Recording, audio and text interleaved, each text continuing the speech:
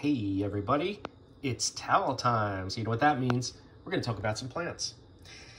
I was cleaning up my peperomia grow space and I wanted to uh, talk about these three peperomia because out of all the peperomia that I do have in my collection, these are by far the easiest. I think they're the coolest. And uh, I was finally able to get names because they came without names. I got them at a, uh, a store that was selling plants for terrariums.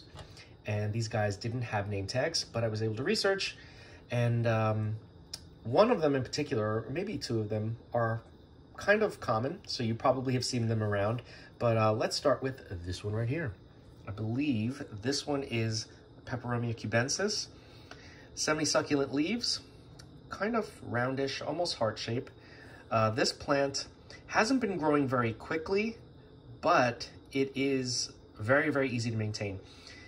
These, it's still, all these plants are still in the soil that I uh, got them in, and the soil is very dry, so I gotta water them. But all three of these plants are very drought tolerant. Um, this one in particular lets you know when it's dry because the leaves start to get softer, but these guys don't lose their leaves when it gets dry. Some peperomia do that. They drop their leaves, they get very, very limp, and they're not happy. But these guys kind of push through it. So, uh, so this guy is very, very easy to maintain.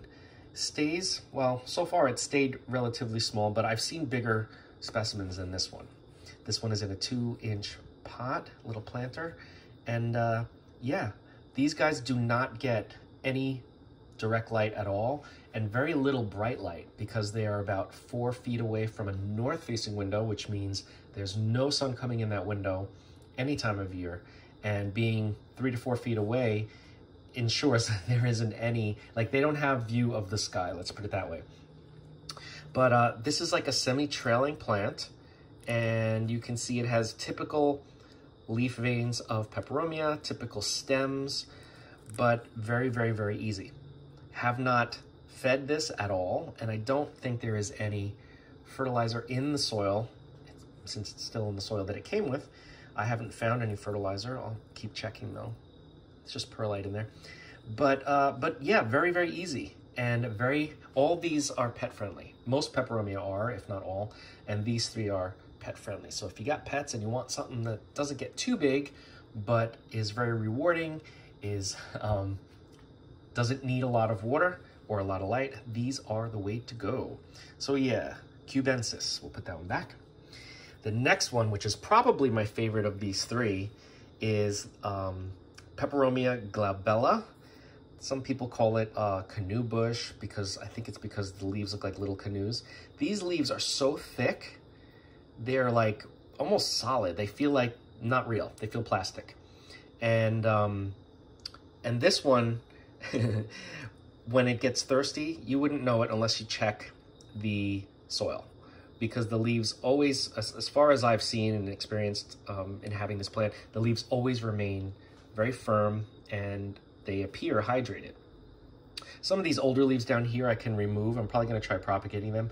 I've also propagated this plant from just the leaves. I took some leaves, I just stuck them in some sphagnum moss, and they started to, you know, uh, to propagate, but I had forgotten to water them, and I thought, oh man, when I go and I check, they're probably going to be dead. Nope, they were fine.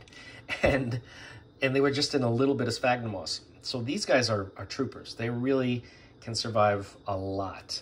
I really, really like this plant a lot and um, you can see it's happy. It's got the little rat tail flower spikes. So uh, yeah, I really, really like this. If you can find this, uh, a lot of times these I've seen in big box stores in combination planters. And that's fine, but usually when I get a plant, I want it to be on its own. But look at how thick these leaves are. I don't know if you can really see. They're very thick. It takes a lot. If I squeeze too hard to try to bend it, they'll snap, they'll crack. So I won't do that. But I really just love this plant. I just think it's really cool. I want to have this plant all, all over the house. Not this one plant. I want to make more of it. just have them everywhere. Because they're easy. And if you forget about them, they're like, I'm still here.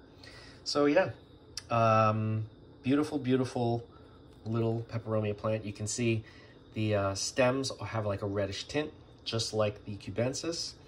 except the leaves are a little more narrow and thicker. And, uh, and again, without any bright light, it's already blooming. So, I mean, this is like the third or fourth bloom cycle that I've had just this year alone. And, and I love it. I just love this plant. I just think it's really cool. I definitely recommend this one for sure. All right, put this one back.